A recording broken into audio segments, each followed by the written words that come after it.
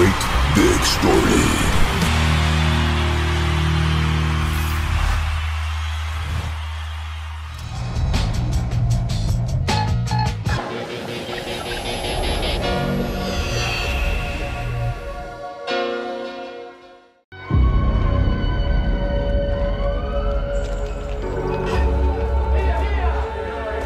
Licio Gelli era il perno, perché attraverso la P2 lui controllava i servizi.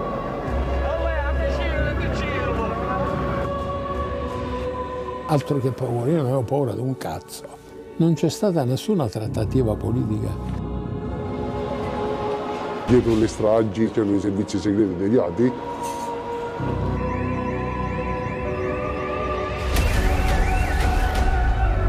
La principale intenzione era quella di non trovare i veri colpevoli. L'indicatore dei luoghi dove erano avvenute le stragi fosse stato Marcello Dell'Utri.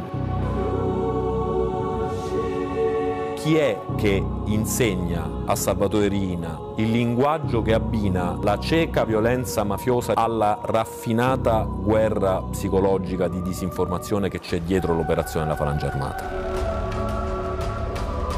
È successo anche questo, scoprire che un Presidente della Repubblica aveva mentito.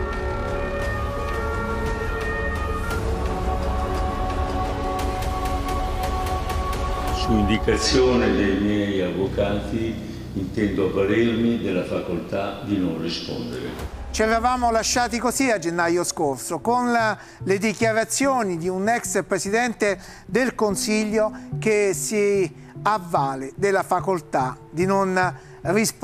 È un suo diritto. Oggi non gode di un momento di gran forma Silvio Berlusconi e gli auguriamo di tornare presto in pista.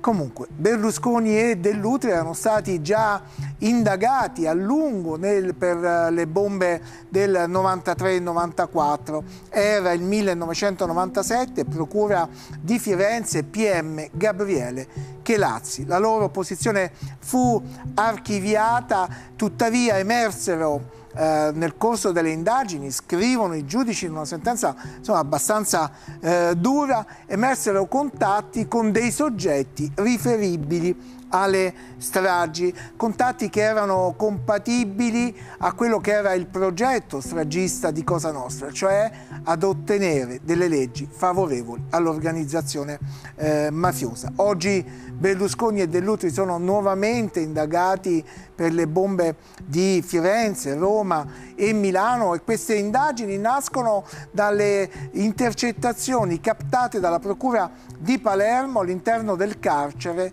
ai danni del boss dei fratelli eh, Graviano che sono boss di Brancaccio che sono secondo un loro uomo di fiducia Spatuzza dopo un depistaggio sono stati indicati come gli autori materiali della strage di via D'Amelio. Oggi il nostro racconto parte da un magazzino particolare in provincia, nella periferia di Palermo dove si riunivano gli uomini di Cosa Nostra, il Gota con uomini dei servizi segreti dove venivano scannati i traditori e dove eh, vennero pianificati gli omicidi eccellenti, quelli del generale Dalla Chiesa, del magistrato Rocco Chinnici e dove recentemente era arrivato, secondo le dichiarazioni del collaboratore di giustizia Vito Galatolo, eh, l'esplosivo per eh, far saltare in aria il giudice che ha indagato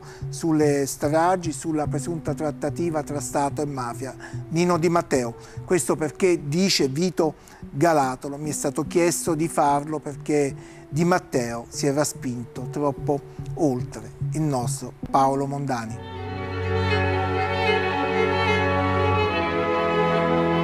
Fra i cantieri navali e il porticciolo dell'Acqua Santa c'è un luogo in cui sono racchiusi molti dei misteri di Palermo. Vicolo Pipitone si chiama. Già negli anni 70 era il regno del clan Galatolo e dei Fontana.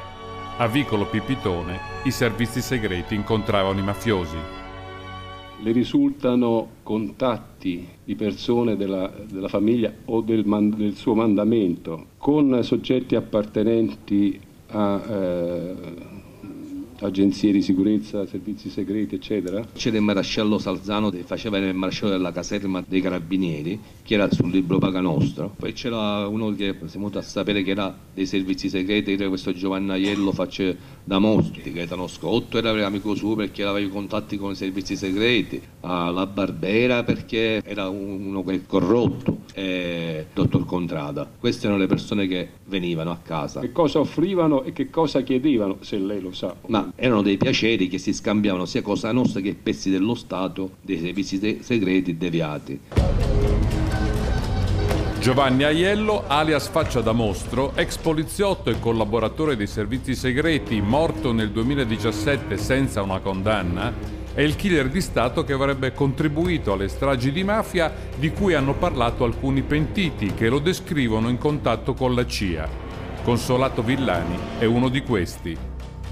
Quest'uomo deturpato in viso lei poi l'ha riconosciuto. Ed era Giovanna Aiello, faccia da mostro, sì. E la donna chi, chi era? La donna addirittura era più pericolosa dell'uomo, era una mercenaria. Queste entità hanno appoggiato sempre le organizzazioni criminali.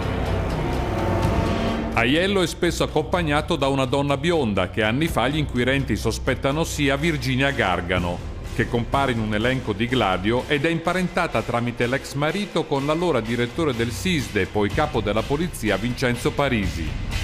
Faccia da mostro e la sua accompagnatrice sono stati sospettati di aver partecipato alle stragi del 92 e del 93. Faccia da mostro muore nel 2017 senza una condanna, mentre la posizione della Gargano è stata archiviata dalla Procura di Catania.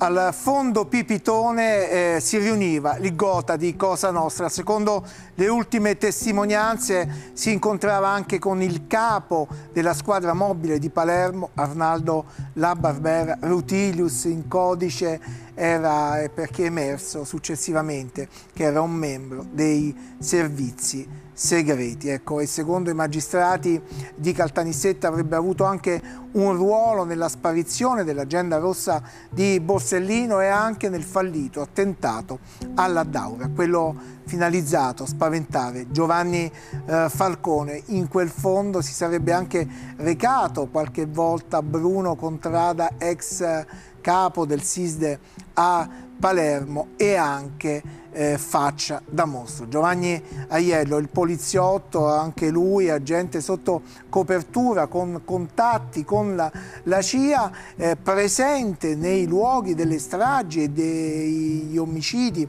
eccellenti, accompagnato con una donna eh, Virginia Gargano, che secondo i eh, collaboratori di giustizia sarebbe stata addirittura più cattiva di lui.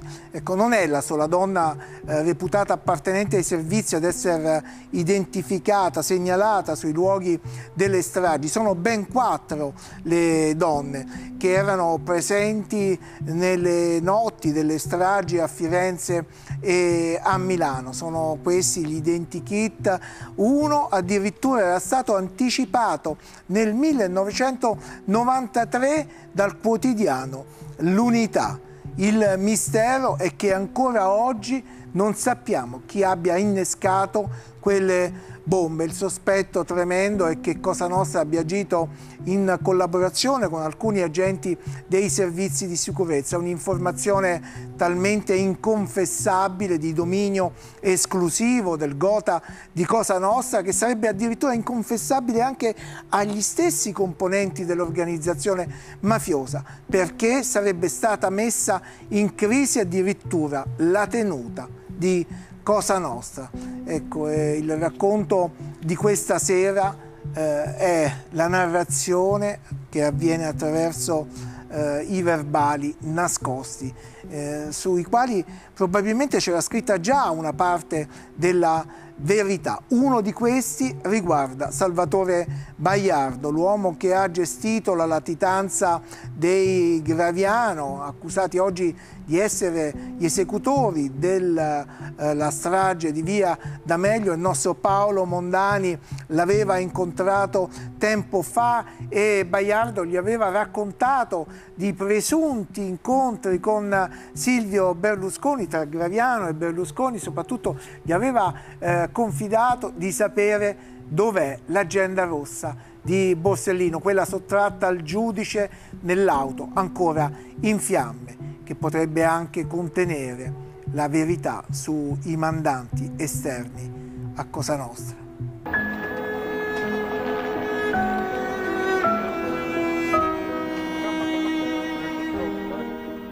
Capaci, 23 maggio 1992. Via D'Amelio, 19 luglio 1992. A quasi 30 anni di distanza, i mandanti delle stragi di mafia sono ancora senza nome. Il dubbio è che la verità sia già stata scritta e forse basterebbe ricollegare vecchie prove, antiche testimonianze, il lavoro di magistrati e investigatori lontani fra loro per scoprirla. I verbali dimenticati negli archivi. C'è un altro collaboratore di giustizia che si chiama Gioacchino La Barbera, il quale ha dichiarato eh, che in alcuni momenti della preparazione della strage di Capaci lui vide un uomo che era presente nella fase di preparazione dell'esplosivo e un altro uomo che era presente nel momento in cui arrivò la telefonata eh, che Falcone era partito all'aeroporto. Eh, questi due soggetti, secondo lui, non, non erano appartenenti a Cosa Nostra. Totò Cancemi fu il primo pentito della cupola di Cosa Nostra, aveva fatto parte del comando stragista di Capaci, poi nel 1993 si consegnò ai carabinieri. Totò Riina, in carcere, al suo compagno di cella Lorusso nel 2013, racconta di un misterioso incontro con Salvatore Cancemi. Lui dice questa frase a Lorusso, dice dopo Capaci venne da me Cancemi e mi disse cosa ci dobbiamo inventare ora dopo Falcone? E io gli risposi, ma che ci possiamo inventare? Se quelli sanno, se quelli sanno la verità, è finita la cosa. Come la interpreta lei? Dopo l'esecuzione di Capaci, qualcosa in quell'esecuzione si è apparso in qualche misura anomalo, Cancemi, che condivide con Rina qualcosa sulla verità di quella strage, si preoccupa, dice ci dobbiamo inventare qualcosa, e Rina dice sì, ma cosa inventarci? Se quelli, e cioè i quadri e i soldati di Cosa Nostra, sanno la verità, capiscono la verità, è finita la cosa, è finita Cosa Nostra. Via D'Amelio, la bomba è scoppiata da poco. Il poliziotto Francesco Paolo Maggi, arrivato tra i primi sul luogo della strage, riconosce alcuni uomini dei servizi segreti in giacca e cravatta che armeggiano intorno all'auto blindata di Borsellino. Sono gente di Roma, di Rammaggi. Non sono mai stati identificati. Nella um, fase esecutiva della strage di Via D'Amelio abbiamo degli elementi che ci consentono di ritenere che alla strage abbiano partecipato anche soggetti esterni. Uno di questi elementi è una intercettazione tra il collaboratore di Matteo e la moglie che avviene pochi giorni dopo che era stato rapito il loro figlio Giuseppe. La moglie di Matteo, con toni disperati e singhiozzando, gli dice hai capito perché hanno rapito Giuseppe? Abbiamo un altro figlio. Non parlare degli infiltrati della polizia nella strage. Tutti hanno visto le immagini di Via D'Amelio a pochi minuti da quella strage. Chi ha avuto eh, la necessità di vederle anche per motivi giudiziari sa che in quel momento vi erano brandelli umani ovunque. Che qualcuno abbia avuto la freddezza in quell'inferno di dirigersi verso la macchina, verso la borsa di Paolo Borsellino, di svuotarla dell'agenda rossa e di farla scomparire, è una circostanza assolutamente straordinaria ed eclatante. Nessuno potrà mai sostenere logicamente che alla scomparsa dell'agenda rossa potesse avere interesse Cosa Nostra. Buongiorno. Salvatore Baiardo è stato per anni l'uomo che ha coperto la latitanza di Giuseppe Graviano, il boss di Brancaccio coinvolto nella strage di Via D'Amelio, che oggi parla dei suoi presunti rapporti d'affari con Silvio Berlusconi. Lei sa dov'è l'agenda rossa? Sì o no? Mi dica solo questo e poi... C'è più di una copia in giro. Graviano l'ha vista? Graviano l'ha avuta. Ha avuto l'agenda di Borsellino? Eh sì. L'agenda rossa. Ecco cosa dice Riina, intercettato in carcere dell'agenda rossa di Borsellino.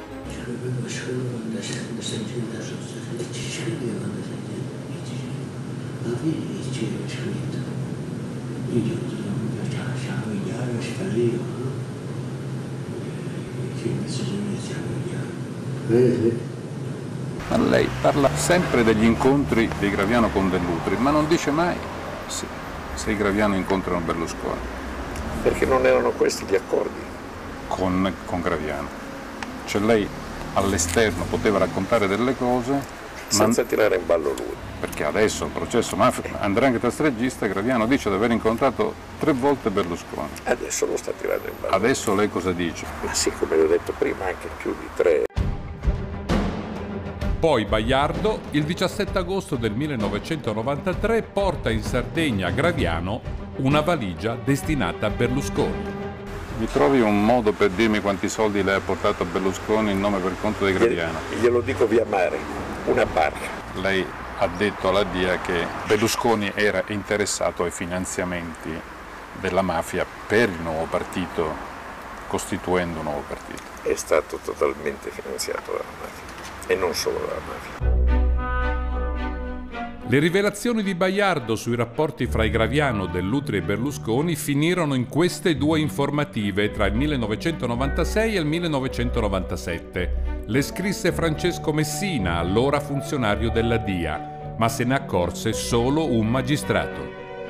Di queste due informative lei ha parlato eh, specificamente con il dottor Chelazzi. Credo che il dottor Chelazzi abbia anche intrattenuto un colloquio con il, con il Baiardo. Mi interessa di sapere se con Chelazzi parlò delle dichiarazioni che Baiardo aveva fatto in merito ai rapporti Graviano dell'Utri. Certo. E cosa disse? Beh, che andava approfondito, in quel momento era una cosa che aveva una rilevanza notevole, per cui formalizzammo con una vera e propria nota all'autorità giudiziaria. Il pubblico ministero Gabriele Chelazzi credeva alla pista Baiardo, ma poco dopo venne trasferito alla Procura Nazionale Antimafia e quelle due informative furono dimenticate.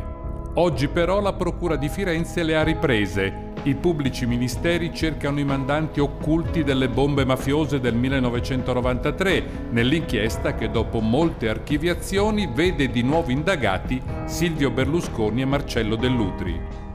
I PM hanno interrogato Salvatore Baiardo e Giuseppe Graviano sugli affari in comune con Berlusconi e i due parlano come mai hanno fatto prima.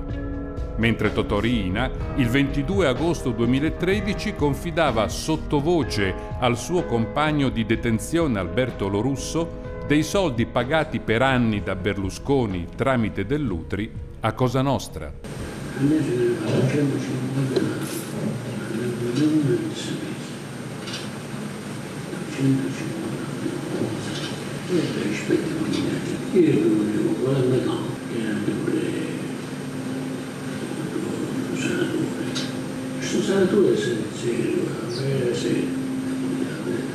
Il senatore serio e amico sarebbe Marcello Dell'Utri, che secondo un altro collaboratore, Pietro Riggio, sarebbe anche quella mente raffinatissima che aveva indicato gli obiettivi del patrimonio artistico da colpire con le bombe. Ora Baiardo era stato giudicato credibile eh, nei suoi primi eh, verbali dal PM di allora, Gabriele Chelazzi, eh, che è morto stroncato in, da un infarto improvviso. Tuttavia quei verbali sono rimasti lettera morta. Oggi Bagliardo racconta di sapere eh, dov'è l'agenda rossa di Borsellino, eh, che, sarebbe, che ce ne sarebbero anche più copie. Una sarebbe finita nelle mani dei Graviano e sarebbe stata portata, lo diciamo oggi perché a gennaio quelle dichiarazioni eh, fecero, scaturirono da quelle dichiarazioni delle polemiche, fu portata l'agenda rossa da uomini esterni a Cosa Nostra. Baiardo ha anche fatto i nomi e ha anche raccontato le modalità con cui sarebbe avvenuta la consegna. Ecco, su tutto questo stanno indagando i magistrati Turco e eh, Tescaroli, ai quali Baiardo ha confermato anche le versioni eh, di Graviano, cioè di, dei presunti incontri con Berlusconi, di valigie di soldi che venivano dati per finanziare lui e anche il progetto politico. I legali di Berlusconi rispondono che non ci sono mai stati incontri tra Berlusconi e Graviano, 25 anni di indagini lo confermerebbero, non solo, eh, non c'è stato mai alcun contatto tra Berlusconi e la mafia, tantomeno diretto o indiretto con i Graviano. Ecco, e che questa inchiesta è destinata ad essere archiviata. Ecco, il nostro Paolo Mondani invece rovistando tra i cassetti ha trovato altri verbali dimenticati dove emergono contatti tra uomini di Cosa Nostra, servizi segreti deviati e P2. Questa volta il filo conduce fino negli Stati Uniti. Altro verbale dimenticato, 2 gennaio 1998. Il PM Gabriele Chelazzi sta indagando sui presunti mandanti delle stragi dell'Utri e Berlusconi e interroga Angelo Siino, il ministro dei lavori pubblici di Cosa Nostra, collaboratore affidabile che riceve una confidenza di Nino Gioè, l'esecutore della strage di Capaci. I due erano detenuti del carcere di Rebibbia, Gioè gli rivela che il tramite occulto tra Forza Italia e Cosa Nostra era Massimo Maria Berruti, ex capitano della Guardia di Finanza, ex consulente della Fininvest, già deputato di Forza Italia. Nel 2011 Berruti venne condannato a due anni e dieci mesi di reclusione per riciclaggio nel processo d'appello sui fondi neri Mediaset, ma il reato risultò prescritto mentre per le accuse di mafia venne archiviato. Tempo dopo, nella notte tra il 28 e il 29 luglio del 1993, Joe viene ritrovato impiccato con i lacci delle scarpe. Ufficialmente è suicidio. Antonino Gioè era un anello di collegamento tra uh, Cosa Nostra e servizi, viene rinchiuso nel carcere Bibbia, secondo le dichiarazioni di alcuni collaboratori Antonino Gioia stava per iniziare a collaborare.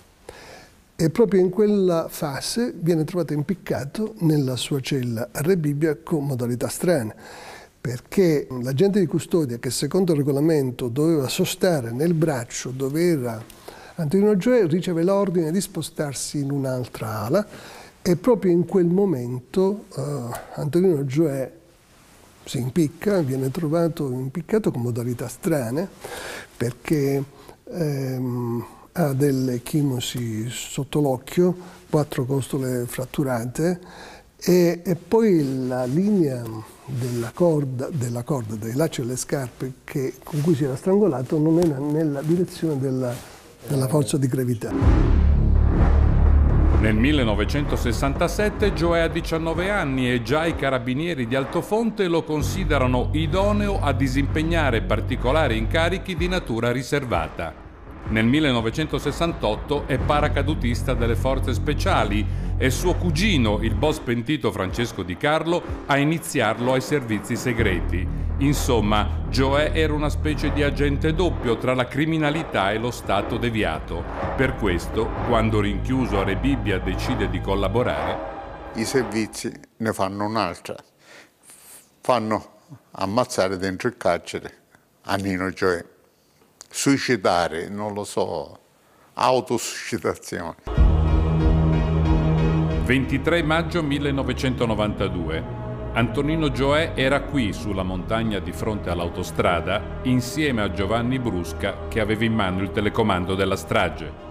Due ore e 41 prima della bomba, Gioè fa tre telefonate negli Stati Uniti in particolare in Minnesota. Lei ha fatto le indagini su quel telefonino e su quelle telefonate? Sì, guardi le telefonate con gli Stati Uniti sono molto più di tre, sono fatte anche con altre utenze e sono fatte anche da Roma e sono fatte dai cellulari che da Roma hanno chiamato Palermo quando il dottor Falcone è partito, quindi il, il panorama delle chiamate negli Stati Uniti sono molteplici. Da parte dei, degli uomini della strage? Sì, che, che rientravano in un, testo, un, certo contesto di utenze che avevano operato, che si erano contattate fra di loro in quei frangenti orari. E questi accertamenti, per quanto mi risulta, sono rimasti totalmente inevasi. inevasi.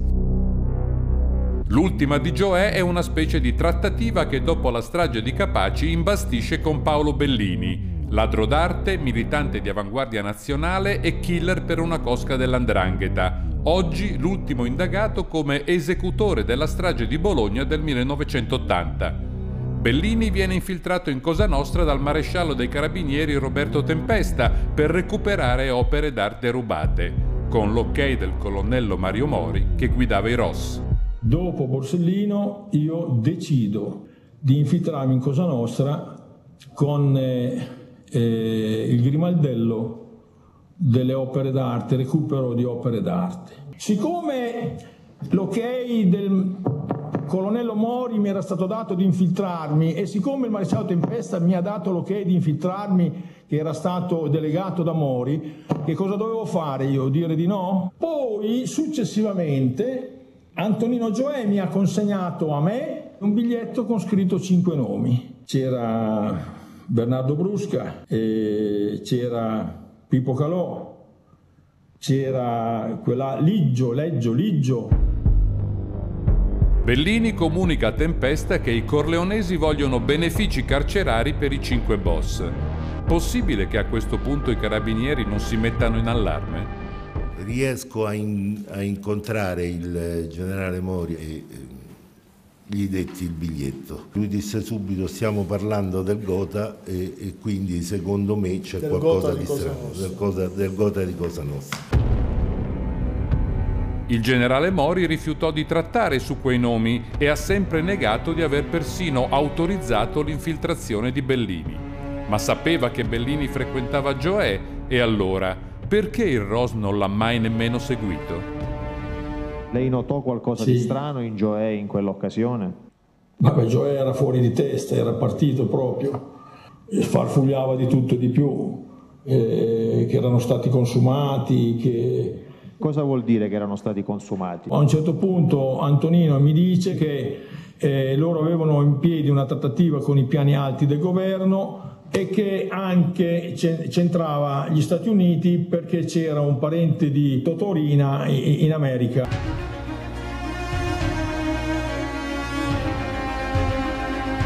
Chissà se si sente consumato anche Matteo Messina Denaro, nato e cresciuto a pochi passi da qui. Selinunte fu la colonia greca più occidentale della Sicilia, 2700 anni fa. Sotto questa enorme area archeologica si nasconde un susseguirsi di templi e antiche ville. Ci piace pensare che Matteo, il latitante, quando si vuole accuttufare, che in siciliano significa nascondersi al mondo, si diverta a venire qui a Selinunte, a tambasiare fra le rovine, altro verbo siciliano che significa passeggiare senza un preciso scopo. C'è un momento in cui Rina, eh, che è sempre malato di- de- del germe del- dell'onnipotenza, comincia a parlare e a riferire alcuni personaggi di primissimo piano, tra cui un tale Saronaimo, che è definito in Cosa Nostra come l'alter ego di Rina in America, di Cosa Nostra americana. Gli presenta Matteo Messina Denaro e gli dice guarda, ho piacere che ti perché per me è come un figlio e se per caso mi succede qualche cosa tu devi parlare con lui. Sta a significare che Matteo era a conoscenza di tutti i segreti di Totorrina. Lei ha detto che Matteo Messina Denaro è artefice e partecipe diretto di Sicilia Libera. Tutta l'idea della mafia di buttarsi sulle leghe ad un certo punto viene meno e il suo socio, il suo, come dire, il suo amico più, più stretto, Giuseppe Graviano, aveva già intavolato con diciamo così, Forza Italia una trattativa. Mm, Su questo punto cosa viene fuori anche dalle cose che dicono i Allora, collaboratori? emerge, emerge un particolare molto interessante perché l'idea di fare la, la- la Sicilia, della Sicilia ancora negli anni 90, un, tentativo di farne uno un altro Stato americano, che viene proposto sempre a questo famoso Saronaimo, che in quel momento è latitante. Cioè l'uomo di Cosa Nostra in America, collegato ai servizi americani. Rina aveva presentato al suo alter ego americano con i contatti con i servizi eh, quello che considerava suo figlio Matteo Messina Denaro quello con, eh, del filo con gli Stati Uniti è un filo che non è stato indagato sufficientemente a partire dalle telefonate che sono partite verso gli Stati Uniti da quei telefoni degli uomini presenti sul luogo della strage di Capaci, quegli uomini che erano in attesa del passaggio della macchina del giudice e della sua uh, scorta. Tra questi c'era Antonino eh, Gioè, un uomo che è entrato in contatto con Paolo Bellini. Paolo Bellini è killer di avanguardia nazionale dell'andrangheta, eh, uomo che eh, si operava nel furto delle opere d'arte. Proprio Paolo Bellini, che è stato coinvolto recentemente nella strage di Bologna, dove dopo 40 anni sono emerse le responsabilità di Licio Gelli e della P2, ha detto che eh, fu proprio il colonnello Mori a chiedergli di infiltrarsi dentro Cosa Nostra per cercare di recuperare opere d'arte. Ecco, Bellini eh, scese in Sicilia prima delle bombe, ma le opere d'arte non le ha recuperate. Quella della sua infiltrazione è una delle cose più misteriose del periodo eh, stragista. Fu un infiltrato vero, Bellini, o come disse eh, Brusca, eh, ha inoculato magistralmente nella mente di Cosa Nostra l'idea che colpire il patrimonio artistico del paese avrebbe pagato di più che far saltare in aria vite umane. Ecco, quel Paolo Bellini che è stato in contatto con uh, un uomo di peso di Cosa Nostra, Antonino Gioè, ex paracadutista uh, dei reparti speciali, l'uomo che era presente a Capaci, in contatto diretto con uh, Rina, quel Gioè che uh, poco prima di collaborare muore suicida in carcere. Secondo il cugino, altro pentito, boss di rilievo, Francesco Di Carlo eh, sarebbe stato invece ucciso dai servizi di eh, sicurezza. Angelo Siino, l'uomo degli appalti di Cosa Nostra, aveva invece raccontato ai magistrati in un altro dei verbali rimasti eh, nascosti, chiusi in un cassetto che Gioia aveva confidato che l'uomo di uno degli uomini di contatto tra Cosa Nostra e Berlusconi era Massimo Maria Berruti. Chi è Berruti? Berruti nel 79 era stato l'ufficiale che aveva indagato sulle 23 holding di Berlusconi registrate presso la banca eh, Rasini, la banca che Michele Sindona aveva eh, identificato come la banca di Cosa Nostra. Clienti particolari erano il cassiere di Cosa Nostra, Pippo Calò, eh, Riina, Bernardo Provenzano. Ecco, eh, Berruti dopo un'indagine che si era chiusa eh, sul, con un nulla di fatto anche sulle società di Berlusconi, l'Edil Nord all'epoca sospettata di aver evaso 5 miliardi eh, di lire, eh, lascia la Guardia di Finanza e viene assunto eh, libro paga di Silvio Berlusconi come consulente e anche come avvocato. Poi diventerà anche parlamentare di Forza Italia. È stato però poi eh, condannato e prescritto con l'accusa di riciclaggio e condannato per aver tentato di depistare, di aver tentato di silenziare quegli eh, agenti della Guardia di Finanza che avevano indagato sulla Fininvest. Ecco, però su quello che aveva raccolto eh, Siino in merito alle confidenze di Gioè prima di morire, cioè che Berruti fosse stato un uomo di contatto tra Cosa Nostra e Berlusconi, ecco, su quello non si è mai indagato. E ora altri verbali che invece la dicono tutta sulla latitanza e le coperture di Matteo Messina Denaro, il capo dei capi.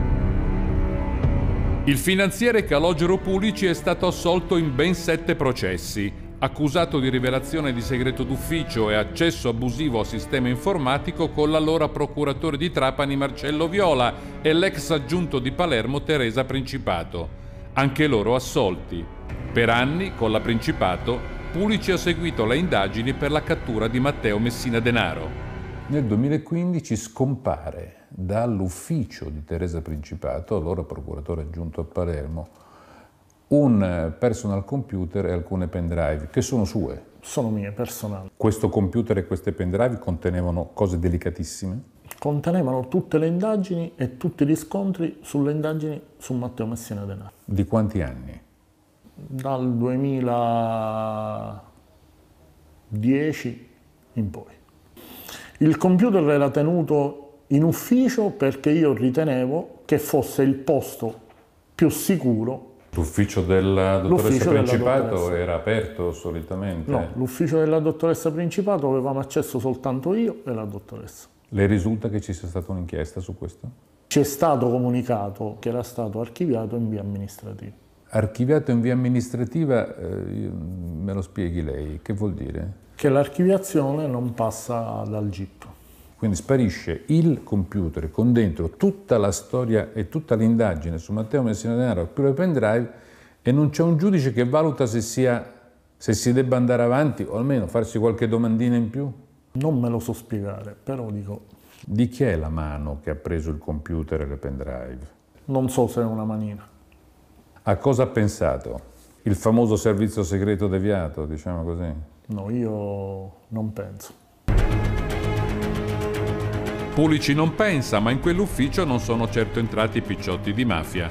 Mentre Matteo Messina Denaro, secondo Marcello Fondacaro, colletto bianco dell'Andrangheta e ora collaboratore di giustizia, farebbe parte della loggia La Sicilia, una derivazione della P2 che lo protegge. Alla loggia apparterrebbe anche l'esponente di Forza Italia trapanese ed ex senatore Antonio Dalì, la cui famiglia dava lavoro al boss Francesco Messina Denaro, padre di Matteo.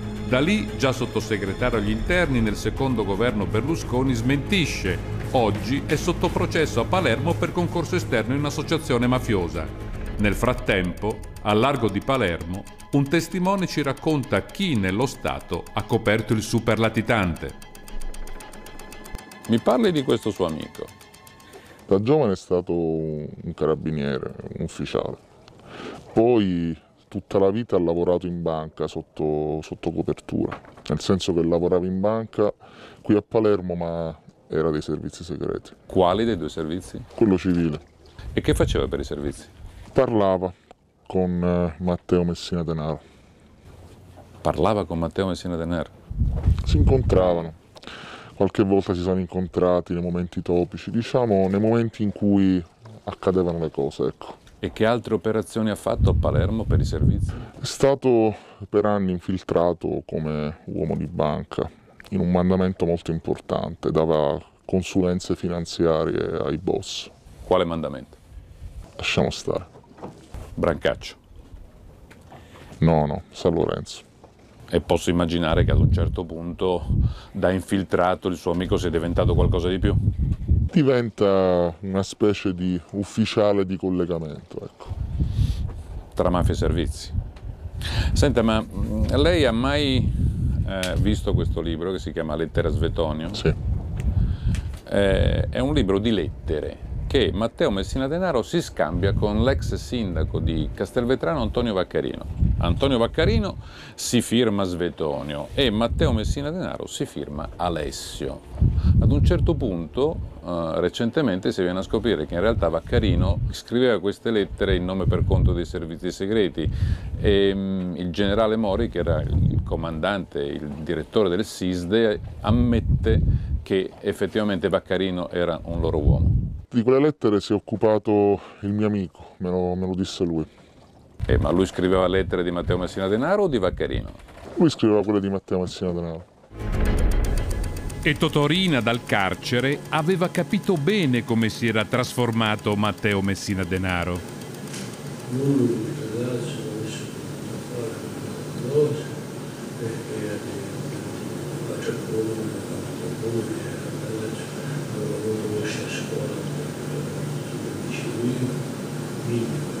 non se ne sai, non vai a venire, e ce l'ha. Io sono infelice, io, io penso se ne hanno chissà di quali informazioni era in possesso Rina. Il nostro Paolo invece ha incontrato un testimone dell'alta borghesia palermitana che è un amico di Alessio, cioè il eh, l'amanuense che ha scritto per conto di Matteo Messina Denaro le lettere a Svetonio, nome in codice di copertura del sindaco di Castelvetrano, Antonio Vaccarino, un sindaco dei misteri, è morto proprio in questi eh, giorni.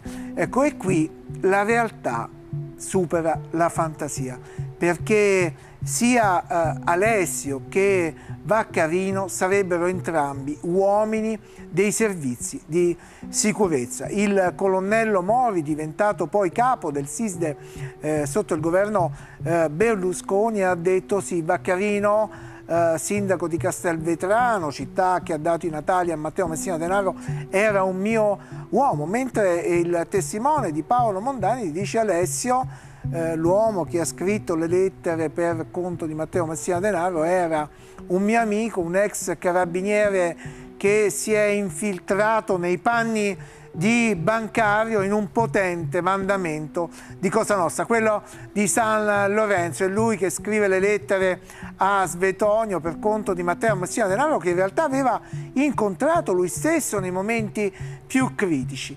Insomma, il libro, che è questo, esce nel 2008, due anni dopo l'arresto di Bernardo eh, Provenzano. Insomma, è un libro un po' particolare perché quelle lettere scritte dal sedicente Matteo Messina Denaro non contengono errori da matita blu, certamente eh, denaro è molto più trasandato, basta leggere i pizzini che ha mandato, ha scritto lui stesso a Bernardo eh, Provenzano. E poi anche il riferimento che fa nel libro il sedicente Matteo Messina Denaro è altamente improbabile, eh, si ehm, paragona a un novello Malossen, Malossen che è il personaggio di Daniel eh, Pennac, il capro eh, espiatorio de, di tutti i crimini. Ora, perché viene scritto questo libro? Qual è il messaggio che vogliono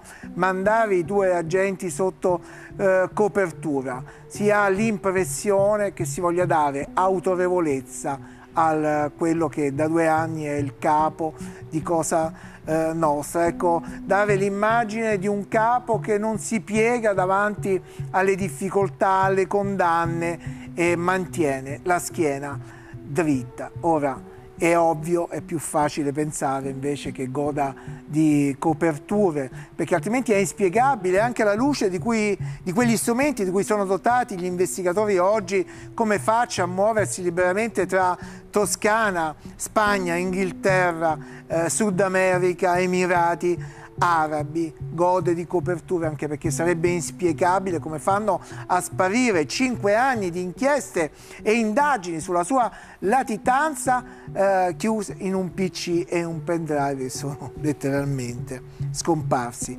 nel nulla e forse anche la uh, massoneria deviata lo copre a sentire eh, quello che dice l'ondranghetista eh, Fondacaro che parla di un'affiliazione a una eh, loggia massonica derivata dalla eh, P2. Insomma, tanto per rimanere legati alle citazioni di Pennac, a cui tanto tiene il sedicente Matteo Messina Denaro, quel personaggio Malossen, ecco, l'uomo non si nutre di verità, ma eh, si nutre di risposte. Nel caso della mancata perquisizione del covo dopo l'arresto di Rina, non c'è né la verità e non ci sono neppure le risposte. 15 gennaio 1993. Il Ross cattura Totò Riina, il capo di Cosa Nostra. Era appena uscito dalla sua villa di via Bernini a Palermo, che oggi ospita una caserma dei carabinieri. Ma 28 anni fa i carabinieri del colonnello Mori, nel covo, ufficialmente, non misero piede. Lì ci ritrovammo al comando carabinieri in tanti, c'erano gli ufficiali del ROS, c'erano gli ufficiali della territoriale, c'era il procuratore Caselli, era pronto un elicottero, erano pronte le macchine, erano pronti i cani. Se non che il Ross, eh, all'epoca Mori il capitano De Caprio, disse che probabilmente una uh, strategia investigativa che poteva portare risultati migliori era quello di non fare la perquisizione, ma di controllare il covo da distanza attraverso una telecamera inserita in una balena, tecnicamente la balena è un furgone. No? Il pentito Giuffre dice che eh, furono portate via dal covo di Rina le cose che ci stavano e furono consegnate a Matteo Messina Denaro e da lì verrebbe, diciamo così, il grande potere di ricatto che avrebbe nelle sue mani Matteo Messina Denaro. Sono a conoscenza di queste dichiarazioni. Cosa ne pensa? Giuffre è un collaboratore attendibile. Settembre 2012. A Nino Di Matteo, il magistrato che sta indagando sulla trattativa tra Stato e mafia, giunge un anonimo, fino ad ora inedito, che la Procura di Palermo giudica genericamente attendibile. Scritto evidentemente da appartenenti di rango all'arma dei carabinieri. Titolo Protocollo Fantasma. Si legge La perquisizione fu fatta. In quel momento viene altresì sospeso il servizio video sul covo di Salvatore Riina.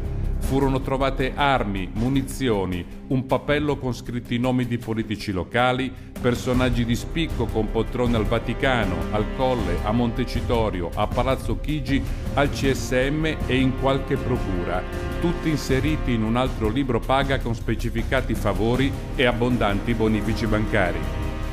A un certo punto lei e anche il procuratore Teresi in quell'epoca, eh, volete vedere i filmati che sono stati realizzati davanti alla villa di Rina. I filmati mostrarono per un certo periodo breve ehm, la telecamera posizionata sull'ingresso del, del residence, Dopodiché non c'era più nulla, in questi casi cosa si fa? Si fanno delle relazioni di servizio, si annota quello che succede giorno per giorno Lì invece tutto questo non ci fu. Non c'erano le relazioni di non servizio? Non c'erano le relazioni di servizio, non, non, non, fummo messi mai in condizione di sapere quello che era avvenuto. Ad un certo punto si fa il processo al capitano ultimo De Caprio e a Mori.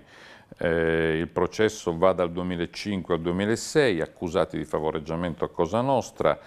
Eh, l'accusa è quella di aver ritardato per 18 giorni la perquisizione della villa, vengono assolti. Eh, la pentita Giusi Vitale, sentita a processo, afferma se si fosse fatta la perquisizione nella villa di Dottorina eh, ci sarebbe stato il finimondo. Eh, quelle carte avrebbero potuto rovinare uno Stato intero. Io mi riporto essenzialmente a quello che c'è scritto nella sentenza, cioè dire la sentenza evidenzia delle anomalie operative, di più non mi sento di dire anomalie operative che neppure Totorina, intercettato in carcere, aveva mai capito. Ieri era finito il film e io prima di spegnere avevo cominciato il canale Rai 2, stavano intervistando il generale Mori.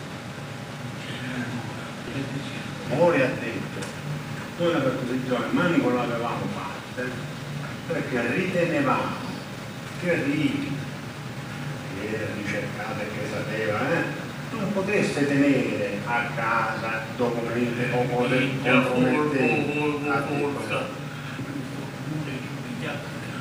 io non mi ho potuto mai capirci perché il covo di Rina non è stato perquisito perché chi ha venduto Rina ha venduto Rina, non Cosa Nostra, non l'associazione. E probabilmente questo stava nel patto. Rina comprende che nel suo arresto è successo qualcosa di strano. È stato Bernardo Provenzano a venderlo ai carabinieri.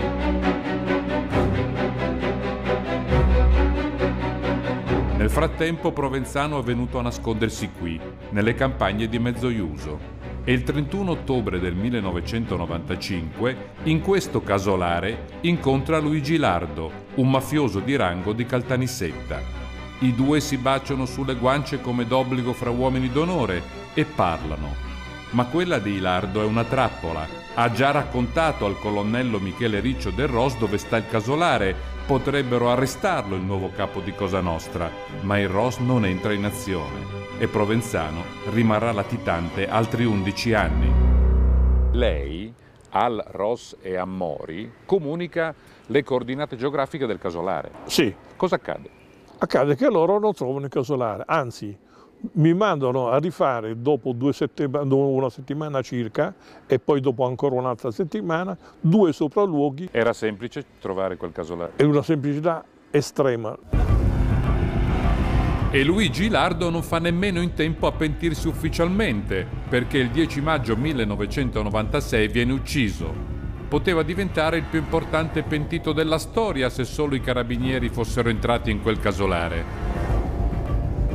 Al colonnello Michele Riccio, che per mesi aveva tenuto i contatti con Ilardo, chiediamo perché il Ross non volle catturare Provenzano perché a loro interessava averlo fuori. Il compito di Provenzano era quello di ricompattare l'organizzazione per portarla compatta di fronte all'interlocutore politico di quel momento che era Forza Italia. Siamo a maggio del 1996 e finalmente Luigi Lardo deve formalizzare la sua collaborazione con la giustizia.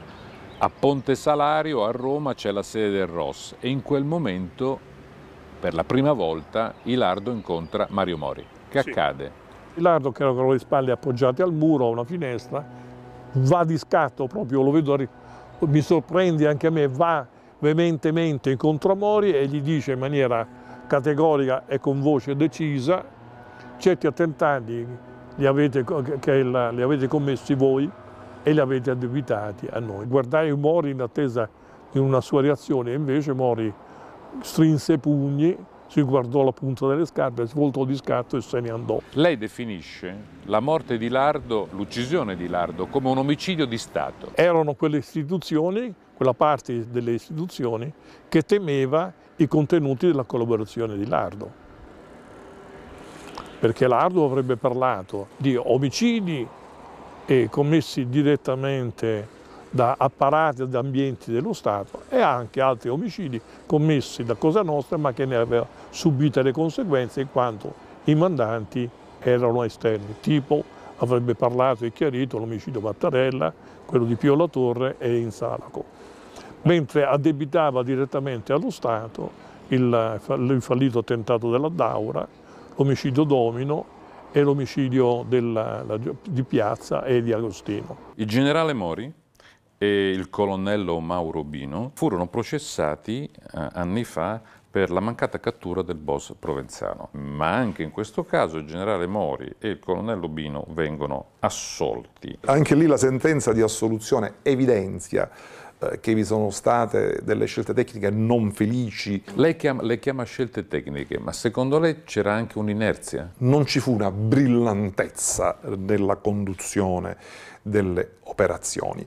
E addirittura per certi versi si connotano oh, dei, dei ritardi e delle omissioni. Nella requisitoria lei afferma che esisterebbero parecchie zone d'ombra nell'atteggiamento degli apparati investigativi del ROS. A un certo punto noi abbiamo avuto un po' il sospetto eh, che non ci fosse quella collaborazione leale tra la polizia giudiziaria e la magistratura inquirente.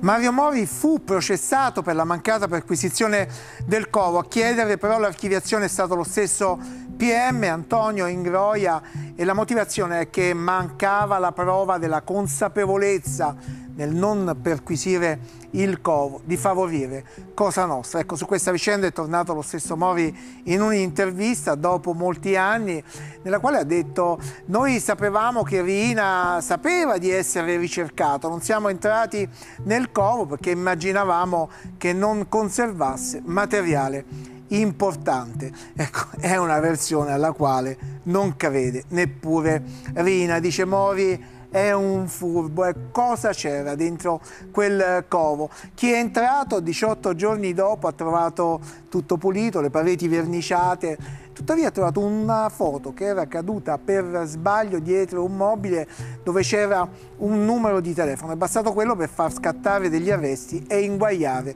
un mafioso di spicco. I collaboratori di Giustizia Giuffre e Brusca hanno parlato spesso di un archivio che era in possesso di Rina e lo stesso Gioacchino Labarbera aveva detto che quel covo era stato ripulito da uomini di Cosa Nostra. La collaboratrice di giustizia Giussi Vitale ha detto che nella eh, cassaforte di Rina in via Bernini c'era un archivio documentazione tale da far saltare lo Stato. Ecco, il papello che è arrivato sul tavolo del magistrato Nino Di Matteo parla di rapporti con politici, con uomini del Vaticano, uomini delle istituzioni più alte che erano nella disponibilità di Cosa Nostra, è un anonimo, noi ovviamente non sappiamo se è vero, forse la sintesi più giusta l'ha fatta il magistrato Alfonso eh, Sabella che è un esperto cacciatore di latitanti, ha detto il covo non è stato perquisito perché chi ha venduto Rina ha venduto solo Rina, non l'associazione Cosa Nostra. E probabilmente questo era nel patto, un'associazione che poteva sgretolarsi anche con i colpi della collaborazione di Luigi Ilardo, il primo boss, se avesse fatto in tempo, il primo boss che si è infiltrato eh, nella storia di Cosa Nostra. Ecco, Luigi Ilardo è un fiume in piena, porta il Ross al covo dove si nascondeva Bernardo Provenzano, ma inutilmente perché non viene catturato. Racconta al colonnello Riccio una fase della trattativa quasi impresa eh, diretta, parla di Dell'Utri come il referente scelto da Cosa Nostra, il referente eh, politico, l'appoggio al partito Forza Italia, dice che la Pax mafiosa nasce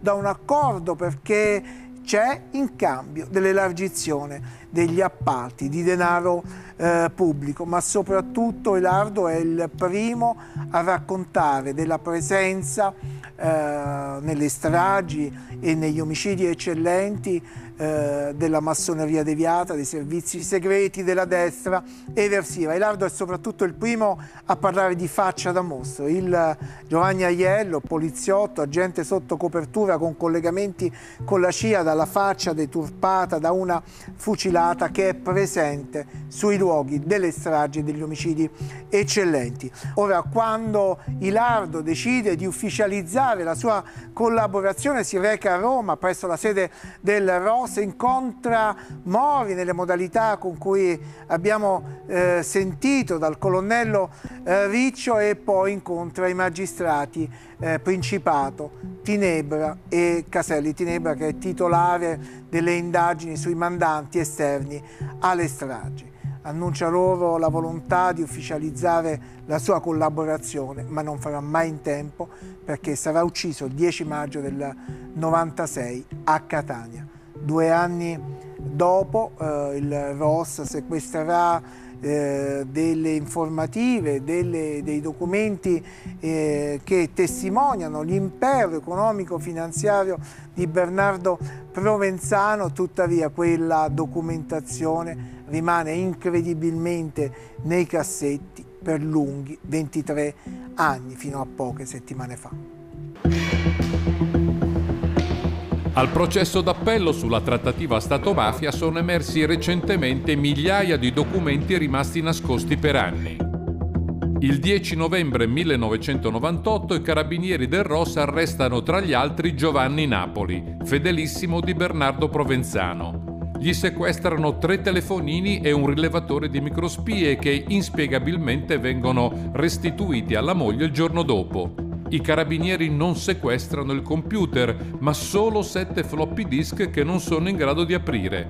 Nove mesi dopo ci pensa Gioacchino Genchi e tiriamo fuori dei documenti importantissimi, dei dossier. Si identificavano vari asset finanziari, investimenti patrimoniali anche consistenti, nell'ordine di, di, centinaia e centinaia di milioni delle vecchie lire. Con molti mesi di ritardo lei analizza anche il computer e vede che hanno avuto il tempo di cancellarlo. Cancellato in maniera maldestra perché ci hanno tentato ma noi siamo riusciti a recuperare. Praticamente tirammo fuori un volume di circa 15.000 pagine di documenti. Qualcuno ha aperto mai quelle 15.000 15.000 pagine? No, per quello che mi è stato detto, i faldoni sono stati trovati intonsi ancora sigillati negli stessi eh, contenitori nei quali io li avevo depositati. Documenti rimasti nascosti per vent'anni che hanno permesso a Provenzano e alla sua famiglia di tenersi strette le proprietà. È il passato che ritorna.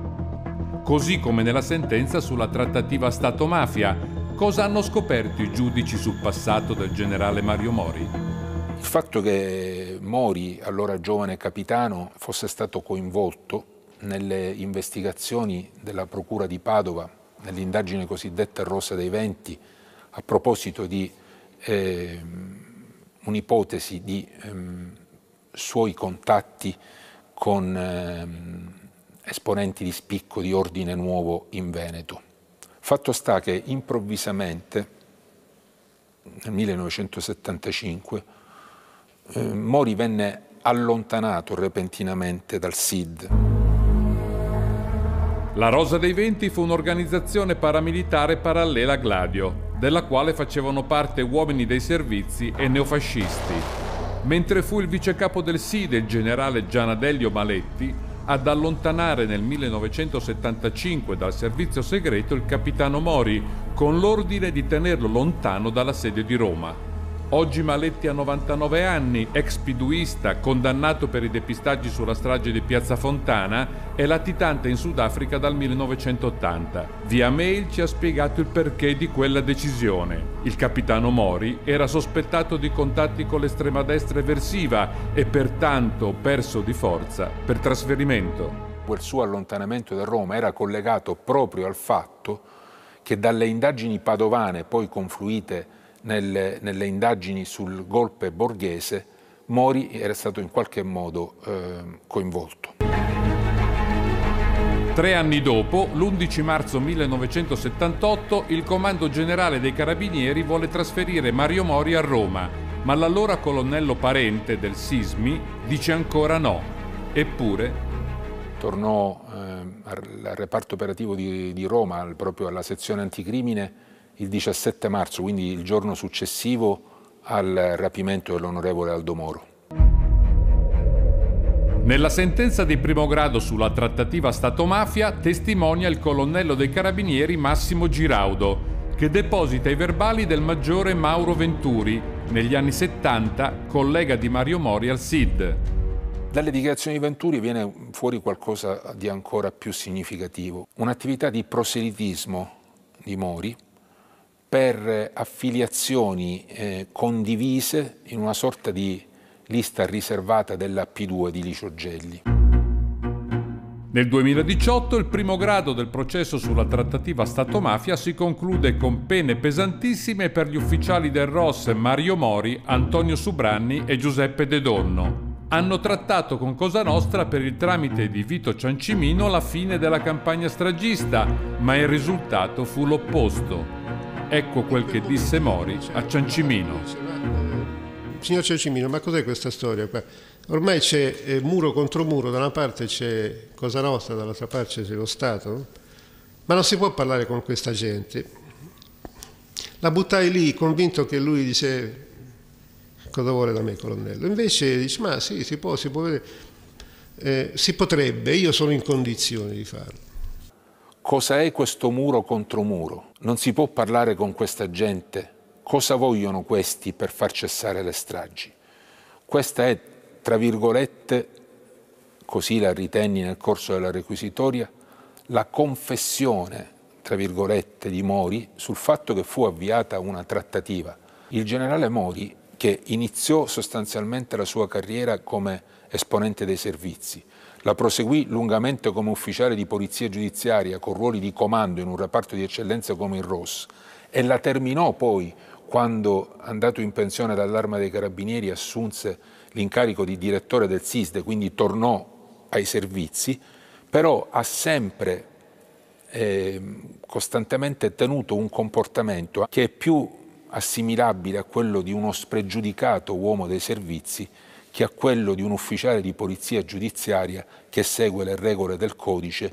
Insomma, dai verbali e dai documenti informative segrete emerge il passato del giovane Mori, un passato che se fosse vero sarebbe imbarazzante e anche inquietante. Emerge un giovane Mori impegnato, aderente a un'organizzazione paramilitare come la Rosa dei Venti, della quale facevano parte uomini dei servizi segreti, uomini neofascisti, uomini legati alla destra eversiva. E poi un Mori che avrebbe eh, fatto opera di proselitismo per iscrivere nuovi adepti ad una loggia riferibile alla P2 di Licio Gelli, una lista segreta. Ora eh, Mori, che con noi non ha voluto parlare attraverso i suoi legali, ci scrive non abbiamo voluto interferire con il giudizio in corso che si svolgerà tra, pochi, eh, tra poche settimane l'appello in Corte d'Assise a Palermo su quella che è la presunta trattativa tra lo Stato e la mafia. Noi però per dovere di cronaca e completezza di informazione abbiamo provato a ricostruire la sua difesa. Mori dice che il colonnello Giraudo ha violato il segreto di Stato, nega di essere Mori stato coinvolto in indagini negli anni 70 dalla Procura di Padova, che l'allontanamento dal SID, dal servizio eh, segreto, è dipeso esclusivamente da contrasti con i suoi superiori e dice anche che le accuse di aver effettuato opera di proselitismo per la lista riservata vicino alla P2 sono false. Ora eh, i giudici però di Palermo la pensano diversamente, questo lo diciamo anche a completezza dell'informazione. Pensano invece che le dichiarazioni di Giraudo, eh, più fortemente contestate da Mori, trovano invece fondamento inequivocabile nei documenti acquisiti nel corso delle indagini. Insomma, è come dire che quel filo nero che lega la P2 ai servizi eh, deviati e anche alla destra eversiva è sulla carta e se ne trova traccia anche in altri verbali che sono stati a lungo dimenticati e che sono all'origine delle stragi. C'è un lato ancora oscuro nella storia delle mafie. Cosa permette loro di resistere nonostante i successi dello Stato? Se lo chiede la Procura di Reggio Calabria che ha aperto una nuova indagine denominandola Stato parallelo anche a partire dalle rivelazioni di un pentito storico come Filippo Barreca, ai vertici dei clan dei De Stefano, che ha fatto arrestare circa mille ndranghetisti, ha descritto i rapporti tra mafie, servizi segreti e massoneria deviata e racconta come l'andrangheta ha cambiato pelle a partire dal 1978, quando il leader della versione nera Franco Freda trovò riparo in Calabria tramite l'avvocato Paolo Romeo, militante missino e poi deputato per il PSD già condannato per concorso esterno all'andrangheta. Mi si chiese di nascondere Freda nella mia abitazione a Bocale, dove successivamente si frequentavano l'avvocato Romeo e Giorgio De Stefano per parlare con Franco Freda. Fu in quei frangenti che i tre cominciarono a discutere di istituire una loggia super segreta a Reggio Calabria, che doveva servire per destabilizzare l'ordine democratico, per concepire attentati e quant'altro. Ma questa struttura nella quale c'è l'andrangheta, la massoneria deviata, come la definirebbe oggi? Uno Stato parallelo del quale fanno parte magistrati, massoneria deviata, politici di tutti i partiti, imprenditori, servizi e l'andrangheta e Cosa Nostra. In questi decenni l'andrangheta ha battuto Cosa Nostra 5 a 0. Come è potuto accadere? Nel mentre i siciliani pensavano a fare le stragi, noi, l'andrangheta, ha pensato ad andare ad appropriarsi di quei poteri che erano importantissimi, cioè i servizi segreti. Perché Licio Gelli in tutte queste vicende calabresi, a partire dagli anni 90... È il prezzemolo di ogni minestra. Stefano Scorza era un dirigente del SISDE quando nel 1984 segnala all'allora capo del servizio Vincenzo Parisi di poter sapere dove si nascondeva Licio Gelli, allora latitante, e ci fa il nome della sua fonte. Gabriele Ceci, che eh, asseriva di, di, sapere dove si trovava Licio Gelli e di potermi portare da lui. Comunque Licio Gelli era latitante in quel Teoricamente il primo ricercato d'Italia. Cosa risponde Parisi quando lei gli va a dire? Si è molto arrabbiato, molto arrabbiato, e mi ha detto di farmi i fatti miei praticamente. Che vuol dire molto arrabbiato? Molto arrabbiato, se ne vada dal mio ufficio e si occupi delle cose sue.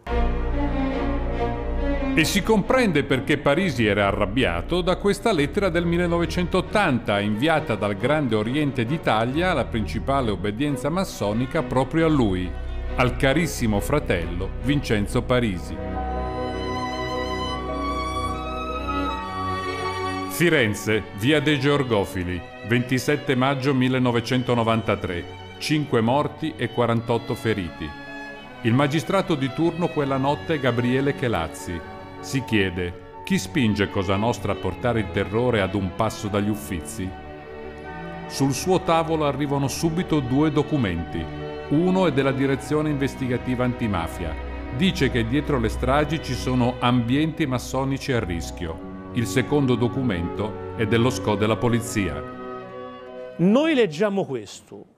Obiettivo della strategia delle bombe sarebbe quello di giungere ad una sorta di trattativa con lo Stato per la soluzione dei principali problemi che attualmente affliggono l'organizzazione, il carcerario e il pentitismo. L'11 aprile 2003, pochi giorni prima di morire, l'ultimo interrogatorio eh, di Gabriele Cherazzi è eh, nei confronti di eh, Mori, Mario Mori. Gabriele aveva intenzione di scriverlo, questo l'ho detto anche in qualche sede ufficiale nel registro degli indagati, ma soprattutto diceva benissimo, in ogni caso, se lui non mi vuole dire che quelle cose le ha fatte e le ha fatte nell'interesse dello Stato, mi opponga al segreto di Stato e poi ce la vediamo con la Presidenza del Consiglio dei Ministri. In che cosa dava fastidio il suo lavoro, secondo lei? rispetto a quella sentenza sulle stragi? Nella misura in cui per la prima volta in un provvedimento giudiziario, che poi sarebbe pure passato in giudicato, si parlava dell'esistenza della trattativa tra lo Stato e la mafia, che era una cosa che non, non bisognava dire. Abbiamo recuperato tutto il lavoro che aveva fatto Gabriele Chielazzi.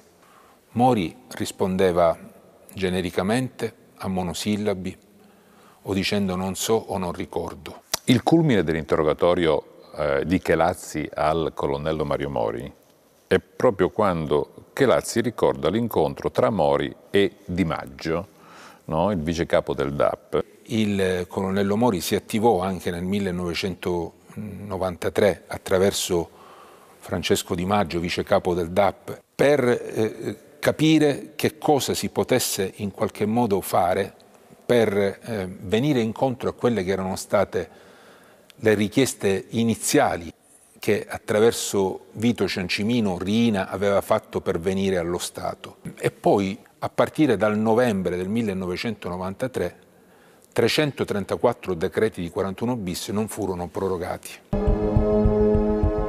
Oggi si riparla di depotenziare e persino di abolire il 41 bis e dopo la decisione della Corte europea dei diritti dell'uomo di dichiarare illegittimo l'ergastolo stativo, la Corte Costituzionale ha dato al Parlamento un anno per decidere come modificarlo.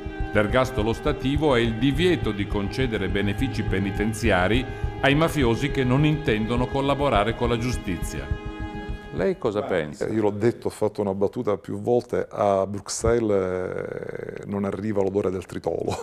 Probabilmente migliorare il 41 bis è necessario, però dobbiamo tenere conto delle peculiarità delle mafie, di Cosa Nostra e delle mafie italiane. Oggettivamente si stanno realizzando alcuni degli obiettivi della Cosa Nostra stragista del 92, 93, 94 e oggettivamente stiamo procedendo verso uno smantellamento totale di quell'impianto complessivo di norme il 4 bis dell'ordinamento penitenziario, il 41 bis, le norme sui collaboratori di giustizia che era stato concepito sotto la, la spinta ideativa e organizzativa di Giovanni Falcone. Perché lo si faccia proprio oggi? Perché in questo momento, soprattutto dopo il Covid, il nostro paese, il nostro, la nostra economia legale soffre una grande carenza di liquidità, liquidità che possono mettere in campo i mafiosi. Io distingo le mafie in grandi stagioni. La prima stagione la mafia 1.0, che era la mafia che conviveva con lo Stato, fino all'avvento dei Corleonesi. La mafia dei Corleonesi è la mafia che ha sfidato lo Stato. La mafia del dopo stragi e dopo patto è la mafia che ha trattato appunto con lo Stato. E ora c'è una mafia che ha, che ha capito che è molto più comodo lo Stato comprarselo e oggi hanno i soldi per farlo.